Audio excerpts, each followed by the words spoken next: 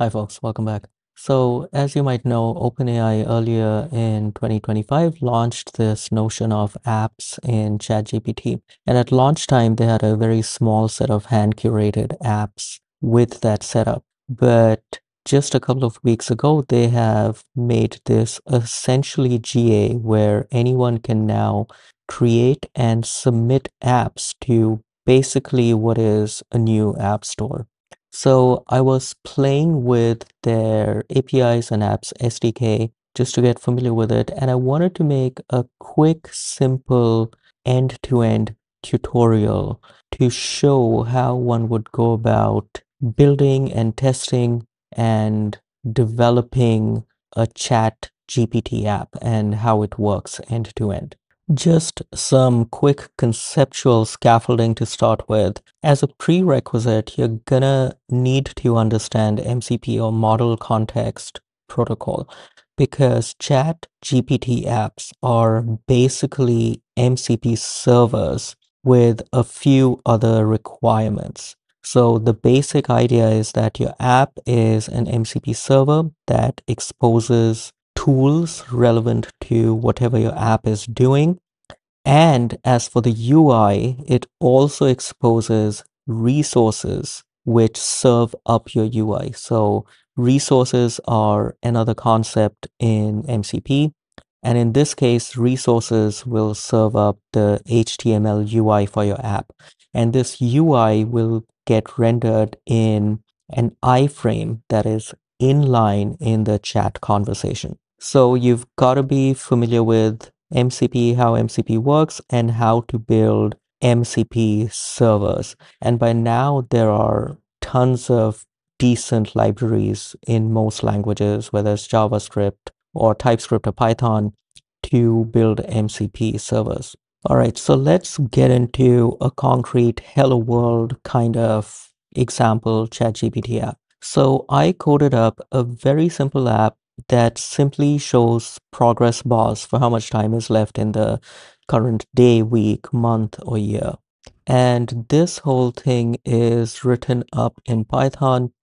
And of course, the logic for this is pretty simple. So if you look at the main logic here, the main tool here is calculate time remaining and it returns a dictionary of all these percentages of time left. And then you can see the main MCP setup over here. I'm listing resources, which is the HTML UI within which these progress bars will get rendered. And I'm also registering this one single MCP tool. It's called get time remaining. It doesn't take any arguments. It simply returns a dictionary of various time left percentages. So this is a very simple MCP server. It exposes one tool and one HTML resource. I'll, I'll leave links to all these repos in the description, by the way. And here in the web directory, you can see the HTML UI. Now, one important thing to note is that the way ChatGPT apps work is that they inject this new JavaScript API into your app, and it's window.openai. And this API is how all the communication between your app and the containing chat GPT chat happens. So for example, the output of the tool goes into this property window.openai.tool output. And there's a bunch of other properties and methods that you can invoke on window.openai via which you can pass information back and forth between the chat and your app. And you're going to need that because the chat has context for the app. As we saw, this is just a Python MCP server. So you can run it locally by spinning up the server with Python. So I'm gonna run it on my local machine and now it is serving on port 8000. And you can actually see what kind of tools and resources this MCP server is exposing by using the MCP inspector that Anthropic have put out. So let's quickly take a look at that. All right, so I brought up the MCP inspector locally and I'm going to point it at my local MCP server. And once I do that, you can see how when I list resources, it shows me this time left widget. This is the HTML for the UI that it's supposed to be serving up. And it will also show me tools. So if I say list tools, it shows me my get time remaining tool. And just to see if everything is working as expected in the MCP server, I can actually run the tool and see if the response is what I would expect. So you can check that the response is what you what you expected, which it is in this case. And very importantly, it should have these pointers to your UI resources, which it does. So the MCP inspector lets us do a quick sanity check to make sure that the MCP server for our ChatGPT app is running and giving the correct responses. The next step now is to actually test this out with ChatGPT, and this is where it gets a little bit messy. The first thing we need to do is expose our locally running MCP server to the public web so that ChatGPT can actually reach it. And there are several ways to do it. You basically have to set up a tunnel. Their own docs recommend ngrok, but I prefer Cloudflare simply because you can bring up tunnels without having to sign up for anything. So all this does is take your local MCP server running on localhost port 8000 and expose it to the internet. And it tells me this is my public URL. And if I hit that URL with slash MCP at the end, it should give me back this, which is expected because this isn't really an MCP client. I'm just reaching out to it as an HTTP server. You could actually double check that this URL works with MCP inspector. So if I put in my Cloudflare tunnel URL in here and I connect to that, all right, I had to add slash MCP at the end. And we can see that it has all the right resources and tools. So this is running off the Cloudflare tunnel URL. So now we know that the tunnel URL is working correctly. Okay, now let's set up things so that we can actually try this out in ChatGPT. The first thing you have to do is enable developer mode in settings. So this is under apps, advanced, settings. You have to turn on developer mode. And then we will go and create an app. So I'll give it a name, time left app. The description is optional. I will give it the URL of the Cloudflare tunnel. And this doesn't have any auth. And I will create this.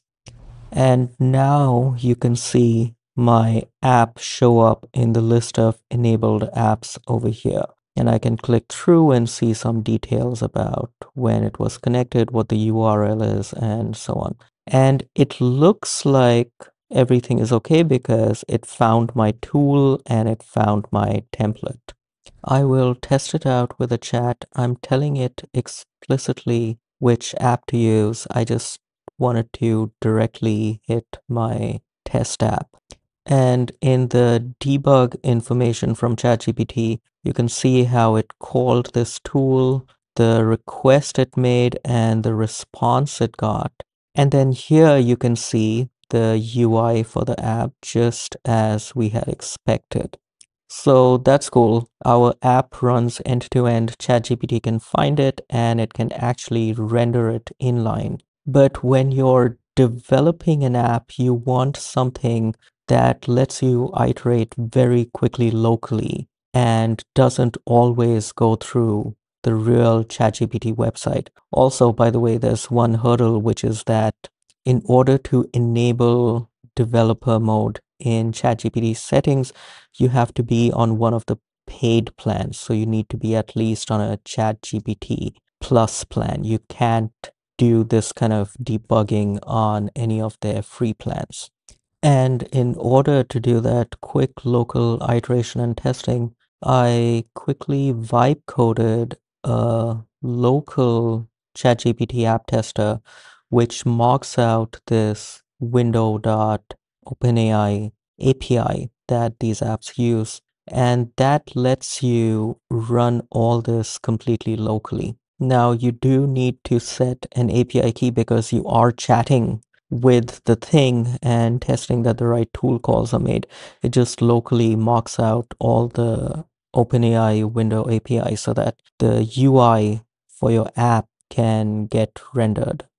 So my MCP server is already running on localhost port 8000 and I'm gonna run my app tester against that MCP server and you can see it's using 4omini. I have set my API key in an environment variable. That's where it is getting the API key from. And now if I go to localhost 3000, by the way, it found the right tool, so we know that it found my MCP server. But let's go to localhost 3000, which is where this local app tester is running. So there you go. It tells you what the available tools are and I can test it. How much time left app. All right, so there you go. It found the right tool. It called the tool and then it rendered the UI for the tool populated with the data that was in the response of the tool, which is exactly what you want. And it also prints out some debug info, what the request was, and what the response was. So the response gives you back all your structured tool response as well as pointers to your UI resources. And that gets hydrated and rendered locally. And this lets me test and develop and iterate on my app locally without having to go into ChatGPT settings and set up a tunnel and enable developer mode and all that stuff. So I will make all these repos public and link them in the description of this video. So that was a complete end-to-end Hello World ChatGPT app that you can bring up on your local machine. You can test it locally, but you can also test it with ChatGPT if you set up the right tunnels. I hope that was helpful. If you like content like this, Please like the video, consider subscribing, and I will see you next time.